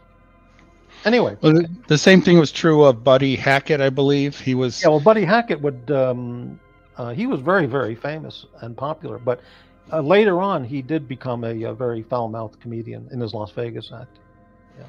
So uh, Tommy's saying that we don't like uh, Bill Hicks or Jo- I like Bill Hicks and George Carlin, but I don't remember them being particularly foul mouthed. No, no, Um, George Carlin was no, no, he was not. He was a very intelligent comedian, and he was not a. Every other word is f this, f that, and you know, dick jokes and pussy jokes, and no, he was not at all. He had very topical, uh, intelligent material. George and the Carlin. other guy, Bill Hicks, I never heard him. I don't know. he did a lot of politics, but he did it in a funny way. Uh, and then uh, George Carlin played with the language a lot, which was really, you know, yeah, really. right. But he didn't come on and do a ten-minute routine about uh, dicks and vaginas. You know. I mean, he had the seven dirty words you weren't supposed to say on radio. He had, That's that's different material. That's yeah, but he, you know, that wasn't his only shtick, you know. Yeah, so. right, exactly. Yeah, yeah. No, Roseanne, uh, she's a pretty awful person, in my opinion. Just my opinion, you know. Singing the national anthem and grabbing your crotch and spitting, you know, on the ground when you do that, and all that shit she does. Uh, she's no talent. It's my opinion.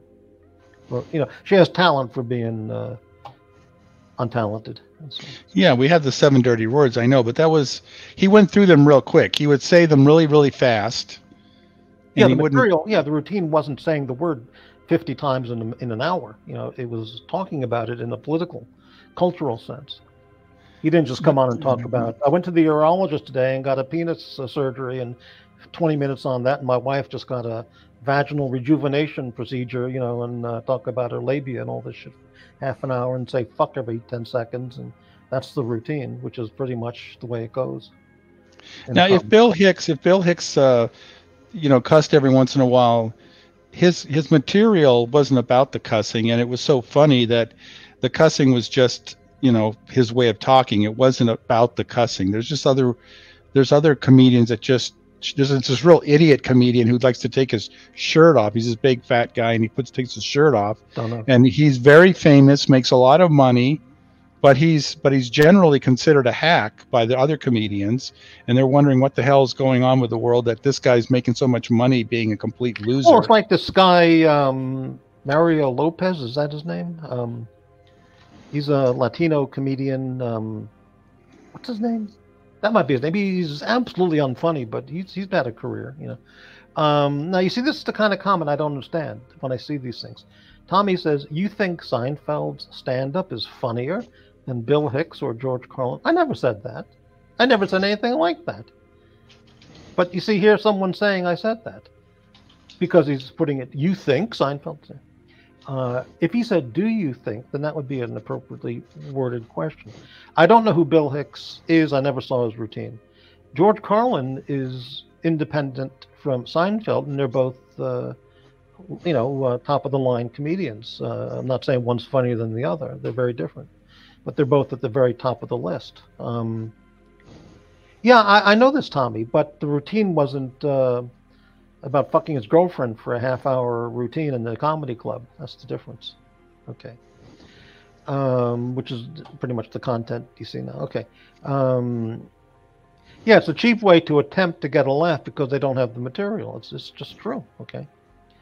Uh, Andrew Dice Clay is just uh, never funny at all. And I'll tell you who I never thought was funny, even though he had a lot of success, was uh, Sam Kinison.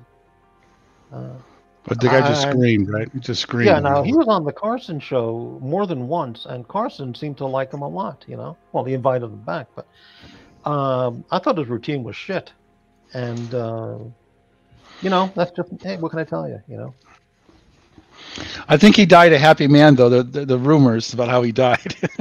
well, he died uh, in a car crash in California desert or somewhere like that, um, uh, high on coke or something. well, I think his girlfriend was uh, performing some Servicing act him at on the time. Yeah. you know, he was uh, high on coke and he crashed his car. Yeah, um, yeah. Uh, I have no idea who that is. Uh, Bert. Uh, yeah, never heard of that name. Well, you don't want to. He's horrible. Yeah, right. It's interesting. There's that thing about like Joe Rogan. I tried to listen to some of his stand up, and it's actually horrible. And um, he still is well loved by uh, c- comedians because uh, you know he's just he's just a nice guy that people like to hang out with. But he he'll bring all these bad comedians onto his show to try to keep their careers alive and Mhm. and it's sort of like a cancer because these other guys are saying oh no don't don't don't put him on your show he's gonna he's gonna become famous and he shouldn't be he sucks Yeah, to me, uh, you know, Barney Fife, the character, is, is a million times funnier than anything Sam Kinison ever did. Yeah. Yeah, but you know, what can I tell you? All It's t- um, no, I mean, there's some, there's some, there's some um, excuse for personal taste, but there's certain things like if somebody likes a certain person who's got no nothing funny to say, like, Right. uh, what's her name, the um, the fat blonde chick who's who's oh, Amy uh, Schumer. oh God, if you like Oh. her, I don't know. There, you, there is there Yeah, any is there any Anybody who would be a fan of Amy Schumer is a mental case. There's just no it's just black and white, and uh, she she is just can't even describe how disgusting she is as a personality. Ah, awful. Yeah. Oh, Shane Gillis is good. I liked him. Uh, um, I just found some of his old Gilly, Gilly and Keen, or not, no, Gilly and Keed, or something like that. He he he was part of a two guy. Uh, uh, I he don't had know some who pretty he is. stuff. I never heard. But he's name. it's famous because uh, Shane Gillis was going to be a part of the uh, Saturday Night Live cast, and then somebody dredged up something that he had s- said in a comedy routine like years before that was not politically correct, and so even before he got on the first show, he was kicked off the cast. They just ban- they, they canceled him, but then uh, because of that, he became so famous that he started doing very well as stand up and he got invited on the Joe Rogan show and everything. And now, was it just last weekend? He's the host of SNL. So it, just like uh, Norm Macdonald, he went from being kicked off NS SNL to being the host of SNL, and it was it's pretty funny turnaround. So I thought that was good. Hmm. Yeah, I have no idea who he is. Yeah. Uh, will- you know, um, I just forgot what I was going to say. Never mind. Doesn't matter. There are some other good new. There's Ryan Long. It's got these funny five minute shticks on YouTube. Don't know. Um, there's a guy named Kyle. What's his last name? That's done some pretty funny stuff. No idea. No idea. And anyway, there's a lot of really good stuff going on right You know now. was an absolutely horrible sitcom? I mean, really just awful. Was uh, Cybill Shepherd did a show called Cybill. Oh, I remember that show. Oh, it was absolutely just awful. It was a laugh track show, no audience, you know, and um, wasn't funny at all. Nothing. But they had a celebrity, you know, leading a celebrity name, and they built a show about her, around her, and they just used a laugh track, and it was just awful. I don't know how long it ran, but um, there are people out there who probably say "Oh, she was great. Well, she wasn't a great show that I liked. Moonlighting with uh, it had um, Yeah, uh, Bruce Willis. Bruce Willis, and that was they did a lot of really funny things. I did spoofs on uh, like Star Wars and stuff. It was it was really great. It was it was it had some of the same flair as uh, Seinfeld. You know, like Seinfeld would have that show about like the Merv Griffin set or something. They had things like that where they would the whole show would be around the theme, and it Yeah, would I be never, I never watched that show. It's also like that show with Candice Bergen Murphy Brown. It wasn't funny. That was just political. Yeah, there were people who liked the love of that show, and it was a hit show, but it wasn't funny. I mean, It was an- say it was something else, but it wasn't funny. they had all you have to know is did they ever have a quote very important episode unquote you know if a show ever had a very important episode that means it sucked because they were basically Yeah, trying right. to shove some crap down your throat Right. Well, it's the same thing with that sitcom uh, Ellen, Ellen DeGeneres. Yeah oh god uh, that show was not funny. and there was I, I i can't remember the name was it swill and disgrace was that the name of the show swill and disgrace I, I don't know. or was it will and grace i'm sorry i must i I must never- have, i must have missed that. I mean, that, that was a very important show that we had to watch. Oh, yeah. Oh, yeah. That woman who played uh, the co-star in that, um, she's a super California lib, and I've seen her quoted in some, you know, political comments she makes, and she's just an idiot, you know, political idiot. But uh, Oh, Psych, Psych, is that the one that's it's a it's a guy who solves crimes uh, by uh, pretending to be a psych. Uh, it's sort of a, a funny version of uh, The Mentalist. And I never heard of that show. it was it, it, Psych was a good show. It was it was, it was sort of like Monk. Uh, if you Monk, I, watched love Monk. Monk. Was an interesting show. Yeah. Yeah, so so Um, Psych is sort of like a, a crazy guy that that solves murders by you know Yeah, by you see, Monk was not a mean character or a mean show. It was just well written, uh, interesting uh, performance uh, storyline. You know, uh, I didn't. Did I say Ellen Degenerate? I didn't mean to, but if I did, well, you know, Uh, I met her in person at a Rite Aid. I was at uh, on Larchmont, uh, Larchmont Boulevard. What do they call it? Avenue? I forgot. In L.A. and I was at the Rite Aid uh, cashier line, and I turned around just to, you know whatever, and um, uh, she was there standing with her girlfriend at the time, uh, Anne Heche, and um, this is you know just street clothes, no makeup, nothing, and uh, um, Ellen is. Uh, I can't even describe the way she looks. It's just. Oh, Lurch's sister. uh, Anne Heche was just uh, uh, pastel. I mean, a pale-skinned uh, nobody. You wouldn't even look twice at her, just standing there. But this, you know, a lot of people are like that. You know, without the lights and the makeup and all that. Uh, you know, uh, they just look like nothing, and she certainly didn't. But Ellen DeGeneres is just, just, um, ugh, ugh. Like, what do you do? You, you you have to you have to go with one of them. You get Ellen DeGeneres or Roseanne. Which one are you going to pick? what they No, call uh, that? There's The, no choice. I mean, you got uh, you got three choices. You get uh, one. You got to spend the night with uh, Ellen in in the room, or you got to go with Roseanne, or the third choice is a bullet in the head. You know, there's no. Uh, I, I don't know. You know. if Ellen if Ellen DeGeneres rolls over in the middle of the night, you don't have to worry about being crushed. oh, I mean, if it came down to that, I would ask the guy. I said, "Well, regarding that third choice, uh, well, what caliber bullet are we talking about?" Know, exactly. I want to make sure it's not. I want to see. Uh, you know, uh, let me let me weigh this out exactly here. Uh, Oh, it's awful. Yeah. Oh, and you know, she's we an person. That story came out a year or two or three ago about Ellen. Everyone on her show was complaining she treats them all like shit, and uh, she's an asshole as an employer, and she screams and yells and just awful, awful person. And she had to do one of those public apologies, you know, on her show because the PR was so bad.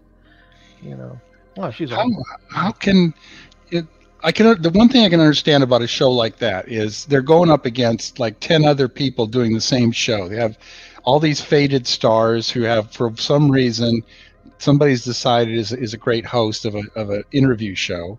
Mhm. and so they're constantly fighting against each other for ratings. So i could understand the tension but at the same time you're making millions of dollars an episode in some Mhm. cases. I mean it's crazy. And so uh, you know, and maybe you're kind of tense, but I could just see yelling and screaming at the producer or something. But as far as the people who are moving the cameras around and stuff, she was talking. This was uh, she was treating the office staff, uh, the low level people. You know, uh, just treating them like shit. And this is all documented. You know. Uh, it just doesn't make sense. I think like like someone like uh, Conan O'Brien, he was well loved. So even when they had the writers' strike, I think he was paying out of his salary, he was paying salaries for all the other Mhm. employees to keep them, you know, you know, housed until Yeah. the writers' strike went out. So you have Mhm. the exact opposite, you know, example in that case. Right, right, right. Yeah.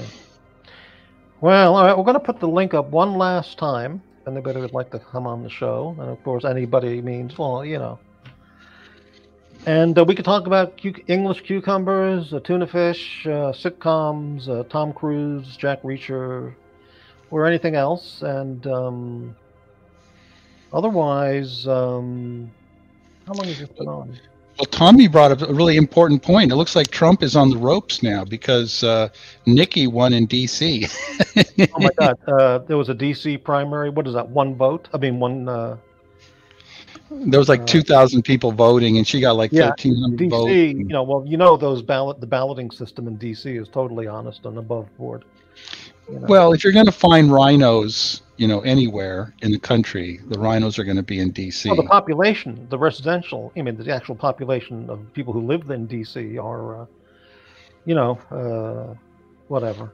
Well, see, let's just say I don't know if it's an open or closed primary. It wasn't very many people that voted, so I think it was closed. And you know, you only have a few thousand Republicans that actually live in D.C., and they're going to be all RINOs, or most of them are. Anybody worth their shit uh, lives in Maryland or you know, uh, Virginia, the- yeah. yeah, Virginia, um, for the most part. Yeah. Uh, Tommy, deep state is now one, and uh, Trump has a hundred thousand. Now she can drop out. Uh, yeah, you got that right. And we have another guest. Shot in the Hello. Hey there. Hello. Hey, shot. What's going on, guys? Oh, we're talking about cucumbers and uh, Jack Reacher, Tom Cruise movie, and sitcoms. Yeah, I heard some of the sitcom. Uh, Yeah. Conversation. So, are you going to tell me uh, who uh, Rachel Brady is, or Russ Rachel Brady is? Do you know him? They're not. Well, uh, let me. Uh, uh, be an intermediary here. Um, the question is, are you going to tell me about who Ross Rachel Brady is? And his answer uh, is kind of like um, no, and that's because that's. I think I could say that's because he just doesn't want to get into it. Doesn't want to deal with the topic. That's all. The best thing I can tell you is uh, go on the Archie Luxury channel and uh, and uh, watch them. Any episode, Yes. or that's it. Yeah, Yes. because it's not something that can be described. Uh, that would. Uh, I love it. Okay. Yeah. He's a man of. Uh,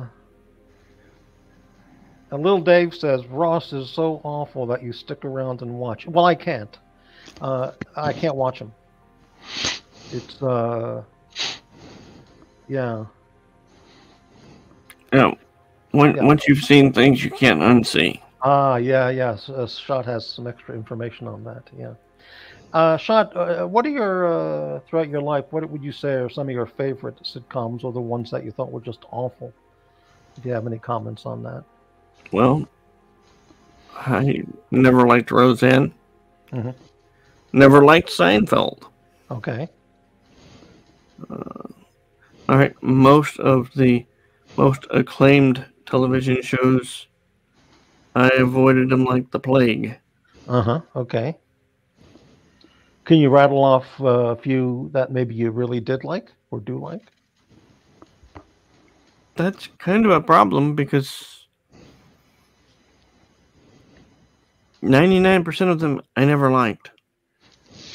Okay. Well, what about going way back from your childhood on TV? Anything that you remember that was really good, or you just don't have the interest in watching TV sitcoms, or?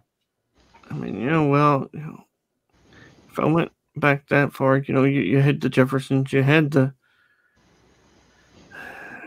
you had Archie Bunker show, you, uh, All in the Family. You had, Mhm. um, you know, Sanford and Son. You had you had all those classic shows that. Right. Well, those were funny. Funny yeah, shows. exactly. Yeah,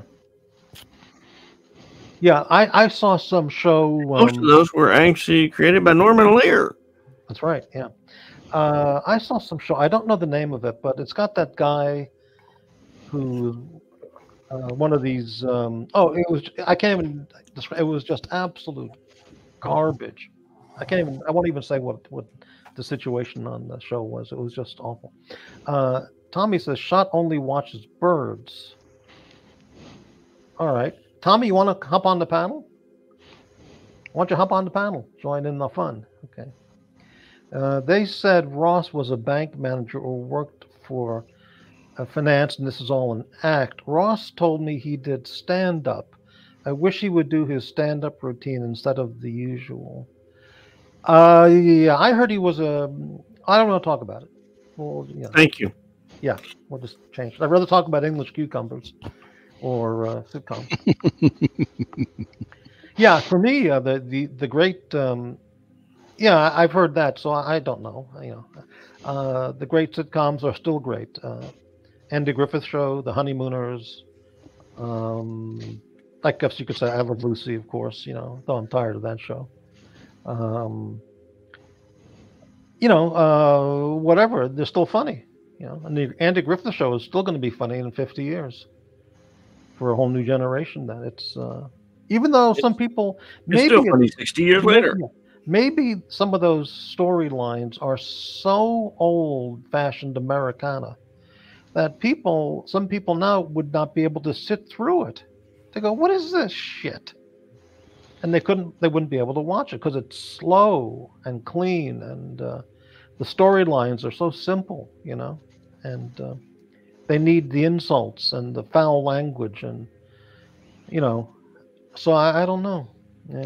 What are those things they're talking into, and why do they need somebody to connect their phone call? Yeah, right. What is this? Uh, uh, yeah, right. Uh, What's this thing on the desk? exactly, right.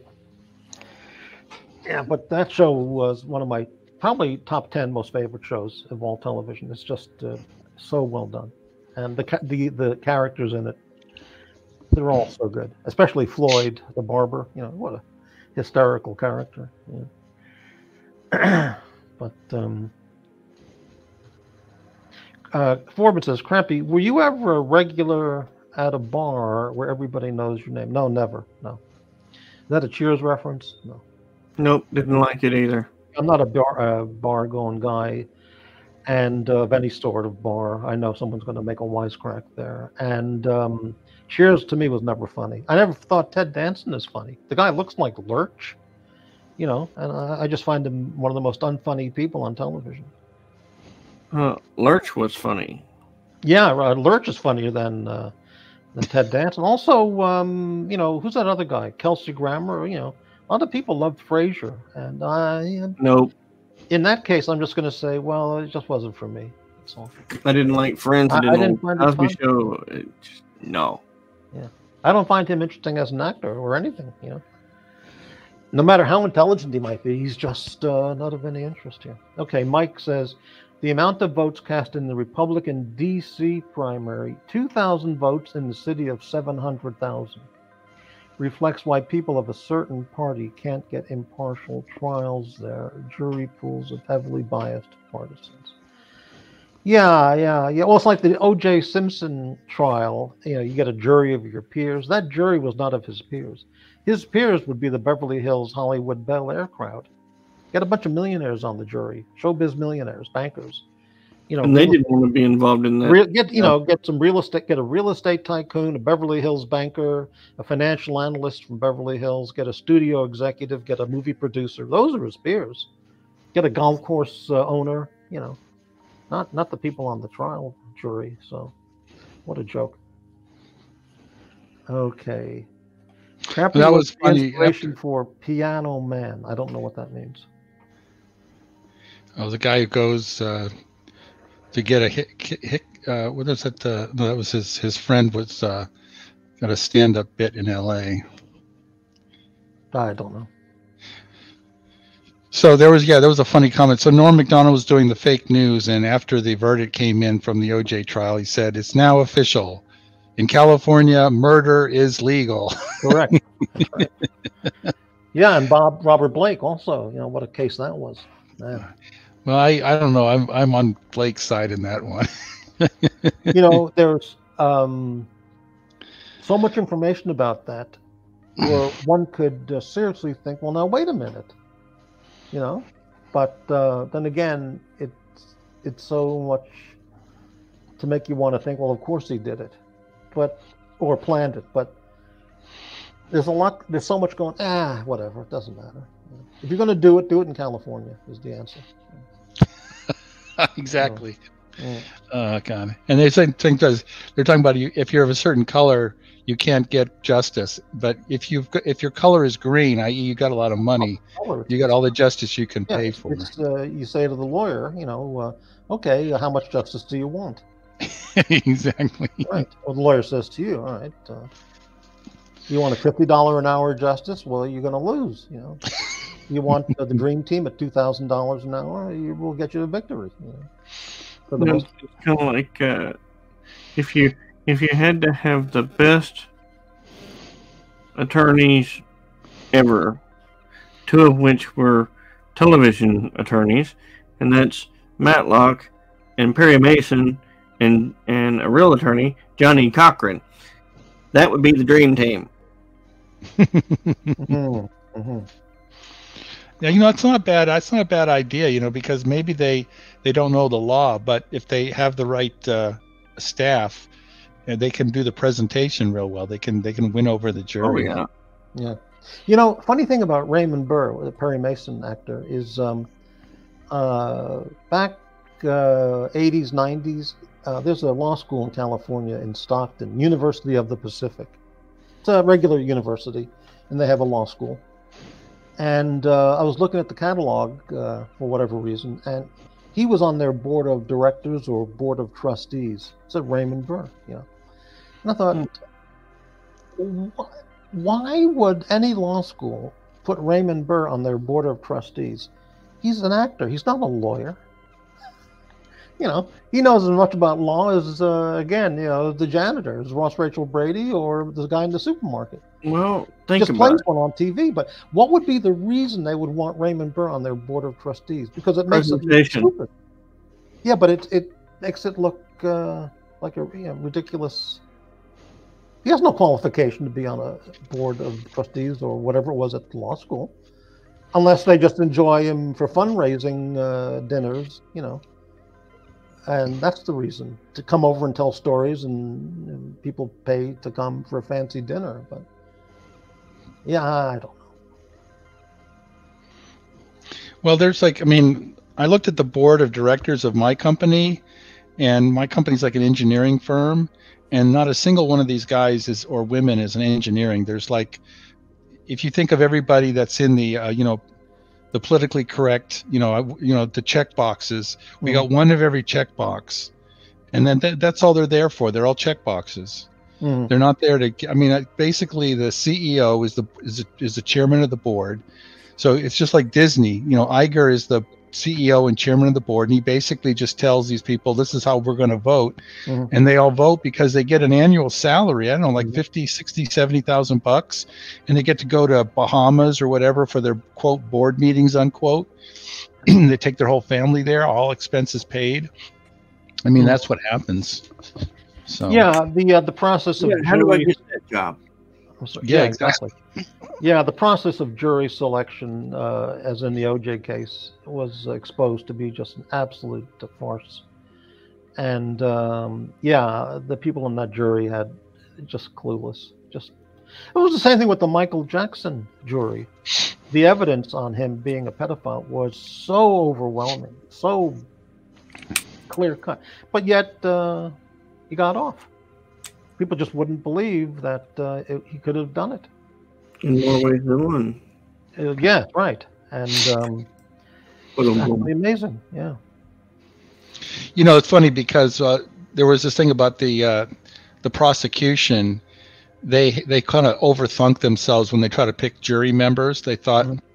that if they had more black people on the jury, they'd get a conviction because the black people would be jealous of how he had this white girlfriend, and so they would find him guilty because they would be envious that he had had this white girlfriend.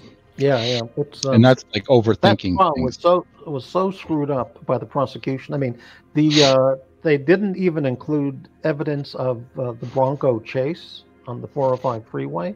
you call that a chase? Well, you know, and uh, the police pursuit and um, the low speed police pursuit, with, where he had a bag of cash and his passport and a mask that he, you know, in the back seat, you know, and that was not included in the evidence. They just, it, it was an open and shut case. It was just unbelievable. Yeah, I know. I know. Okay. Yeah. I've been watching Yeah, the Rust. Oh, the Alec Baldwin case. Oh, gee. I was watching the Alec, uh, the uh, Rust witnesses. Prop master describes a double action means the cylinder swings out. Are you joking? Unbelievable. Seth Kenney on camera accidentally pulls out live round to a cop on you, uh, whatever. Yeah. Um, someone actually said that. The prop master said that's what double action means. You open up the cylinder. It doesn't surprise me. Well, yeah. I saw a story on uh, YouTube. It was a short video from Oklahoma City. There was a judge. Did anybody see this? There was a judge on Oklahoma City. She just got fired from the bench, removed. Uh, during a case, she was texting. During the case, what during the trial, she was texting back and forth with her bailiff, 500 text messages and she also talked about um, sex jokes and uh, genitalia jokes and uh, all, all kinds of sick fucking shit. And uh, that got leaked out somehow, and she was immediately removed. There you go. Anyway. Yeah, the glove thing was just bullshit. Just unbelievable. Yeah, anyway, enough of that. So, Yeah, the, the troopers around here would have already ran him off the road, cuffed him, stuffed him, and probably beat the shit out of him at least a dozen times before he ever yeah, if, if that OJ murder case uh, was in a different state Yeah. would have definitely been different. Yeah, no question. Yeah, like in Nevada. He'd been to a punch. He'd been uh, uh, George Foreman's punching bag. Yeah, like in Nevada where he got on that armed robbery. You know, I heard someone on one of these channels say, "Well, it was his stuff," so I don't blame him for going in and getting his stuff back. Yeah, but he did it at gunpoint. He had what three of his thugs with him at gunpoint. Yeah. Hold- He'd already sold that crap at least twice. Yeah, I mean, so then that's not. Uh, hey, hi, it's uh, it's OJ. Can I can I come over and talk to you about getting my stuff back? It's a little different than you know going in there with three uh, Mean Joe Greene looking guys and uh, guns and you know taking your stuff back by force. So yeah, Yeah. the Mean Joe Greene references of the size of the guys because I met Mean Joe Greene and the guy. I never saw yeah. I. Yes, I know that's going to get uh, twisted, of course. But um, yeah, anyway. So, And people uh, said that Shot, he was, he uh, was what's your opinion on cucumbers? tasty. Tasty. Uh, do you regularly buy them or rarely? I don't regularly buy them. Yeah, no. right. So, well, we got your input there. Okay. But they they are they are definitely good in the summertime because they retain a lot of water. Yeah, there's uh, people who maybe it's just in the movies. I don't know. I don't read beauty magazines like uh, like Glamour, so I don't know. But um, uh, if people put the uh, cucumber slice on their eyes at the spa with a facial mask, and it's supposed to relieve wrinkles and stuff like that. Yeah, I've seen that before. Who knows? Well, it's possible. No, I've seen that in uh, I've seen it in movies, but I've never never been into the, into the spas. Yeah, in the movie Bugsy, uh, Warren Beatty was doing that at the uh, at the fitness center, the the health club, whatever. Anyway, so um, hmm, mean, that's the thing. There's a lot of ways you can get cucumbers. But that's the thing. Once I'm cooking for myself, is it's a lot cheaper. I can save a lot of money. So I have I Yeah, have more right. cucumbers when I'm eating out and I'm having a salad. But I don't know if I want to eat out so much anymore, even if it's yeah, right. get that salad. But I need to eat more more. I know I need to eat more vegetables. So I'll probably gonna actually probably gonna go out and get myself an English cucumber and start making some uh, fresh salads for myself. Yeah, right. Okay. Um, I guess there's a lot of varieties, a lot of uses for an English cucumber, but uh, the point is, I guess they're pretty tasty as an alternative to a regular cucumber. So And they make a really good pickle. a really good one. Pickle. Oh, pickle. Yeah, of course. Yeah. So, um, yeah. I think uh, we're at the end, unless anybody would like to have any comments on anything. Mike's talking about a Gordon's breakfast cocktail. You can instead of floating the uh, the cucumber on the top, you can also what they call muddle it, so you can get the cucumber flavor inside the drink. I don't know if that's if that's if that's what a Gordon Mm. is. But Cucumber is used um, as a fragrance in uh, soaps. In yeah, I, some I get that soap. It's good. It's uh, yeah, it's very nice. Yeah, Yeah, it's fresh. right. Yeah, and um, yeah, I guess uh, other people didn't want to come on the show, though they were pretty chatty in the uh, in the uh, comment section, which is always good. Yeah. Well, Tuesday is Super Tuesday, and um, I already Yeah. voted. Yeah, Nikki Haley's not going to drop out. She's going to stay there to the very end. And my my thinking, which I've heard discussed, is she's just got the support of the big millionaire Democrat powers behind her, and they're and the plan is hopefully Trump will just get thrown in jail or disqualified or whatever. And at that point, uh, she'd be the only I Republican. already admitted it anyway. Yeah, yeah.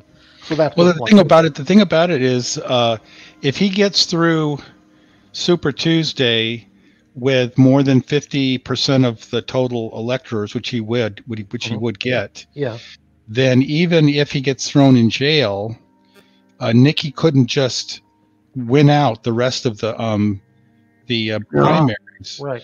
So there would still have to be some action, and so she would be no more likely to get it than say Ted Cruz or somebody else that the people at the convention would put in, in place of, of him. Well, even if he's in jail, I mean, he's still going to be president. and uh, I'm not going to get into any details on that. But uh, Well, you know the the the whole thing that everybody misses on this subject is that they've already arrested him. They've already done all this stuff, and if he's in jail, but they quote unquote he's not a convicted felon yet, Mhm. Um, then he can still serve as president Oh, because yeah, yeah. uh, you know, until until he has a high crime or misdemeanor, uh, then no, that doesn't mean what everybody because- thinks it does. because someone's arrested doesn't mean that they're guilty. Right. Totally irrelevant. Yeah, but uh, we're talking about uh, Biden, Obama, America. So, yeah, anything can happen. But um, yeah, exactly. Yeah, Jail. they, they need to have their heads removed from their. Yeah, I mean, he's the most persecuted Assholes. man uh, in the last two thousand years, if you know what I mean, and it's really true. Mhm. Or you could say the most unfairly persecuted. You know, and, and I and I will say this, you know, Trump is no saint. He doesn't walk on water. Uh, you know, but uh, Well, he's absolutely right when he says uh, uh, he's the only thing standing between uh, them and the people, and Yeah. uh, total control and domination of everybody. And it's absolutely right. But you know, anyway, let's get back to cucumbers. But I think we've covered that fully. So, uh, 18 people watching. Let's take a look at the thumbs up. Refresh that page. I think the And, only uh, thing that I Six, about a measly six thumbs up. I think the only the only dishes that I've seen where cucumber is cooked are like Indian dishes. If I'm I don't correct me if I'm Oh. wrong, but I think the Oh. only other times I've seen cucumbers, it's always fresh. You know, it's always like in a salad or a drink or or on a topping of some sort. I've never seen it cooked. Someone had said that I'm not aware of uh, cooked cucumbers. Yeah. But I, but I think it might be in some Indian cuisine. They do some really interesting things. I don't know if I agree with it, but they I think they do do some things like that. Yeah, I don't like Indian food. I've never, I just don't eat it. I like it. Well, everyone likes it. I'm, I'm on the outside on that one. I bet the only thing I like is the tandoori chicken, but who can't? I mean, it's just roasted chicken, right, with a little bit Now, of a what red. is that? How do they prepare tandoori chicken? Are there any funky spices on that, or is it just a roasted chicken, or what is It's it? got a red color, but it's not spicy. It's it's a little very tiny spicy, a little bit extra flavor. But if it's done well, it tastes as good as any roasted chicken. And of course, naan is just the you know it's just uh, bread. Those are good. They got this garlic naan, which is good, garlic And flavored. on it, naan. flat bread. Yeah, the Yeah. thing about the thing about all those things you're mentioning, which might be really tasty for me, is when when I pass by, just walk in front of an Indian restaurant, not even go inside, just stand outside. The smell from the spice, the spices they use, it's so nauseatingly stinky. Mm. I, I can't stand it. It's just the worst.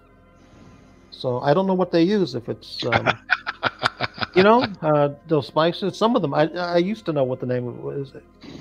Uh, I forgot the name, but um, yeah. Oh, I like that. Okay, what is Tommy saying here? Over 4,000 inmates have escaped from Haiti's main prison. You mean, you mean today? Oh, that explains Obama. Okay. Well, They're on their way to the Mexican border, so that'd be good. right? Well, but it's interesting because how can you tell 4,000 inmates from the rest of the Haitian population? They're all Uh, criminals, I don't know. pretty Uh, much. Well, Uh, the Clintons, uh, you know, they're friends of Haiti. Maybe they can do something. Right. Um, Is, isn't that the new location of their new Yeah. party place? who, I don't know. and that's where they uh, they spent they collected millions and millions of dollars to try to create housing for the people from the earthquake. And when the Mhm. investigators went to look, they had built like one model house, and the other millions just kind of disappeared. So Correct. there you go. Yeah. Oh, Nothing happened to them. Whitewater all over again. Yay. Hmm. All right. Exactly. So, um, I think I'm out of material here. Um, I mean, I'm out of energy. I mean, so um, I'm gonna poke my head in the fridge, see if there's any rotting food I can eat, and um, that's about it. Any any last thought, shot or spring or anybody? Mm, no. Yeah. I'll just say good good night. It was nice chatting, and uh, I yeah, I like the comments in the in the chat as well. A lot of good Yeah. uh, yeah. interaction. All right. Well, thanks everyone. Thank you, shot and uh, spring. Thank you. Thanks everyone for watching, and I'll see you on the next. Next show is going to be pro- uh, coming up soon. It's going to be weasels, is the topic, uh, and jellyfish is another show coming up. Uh, Oh week. God, we're not. Gonna, so we're going to be talking about Republicans again. No, no, no. But the next show is jellyfish. I've got them all prepared. And then weasels, Uh, maggots, worms. oh, see, you're talking Uh, about RINOs. You know, all the all the different varieties Well, of. make of it what you will. But, you know. Uh, All right. Uh, so there you have it. Thank you, everybody, and see you later. Good night.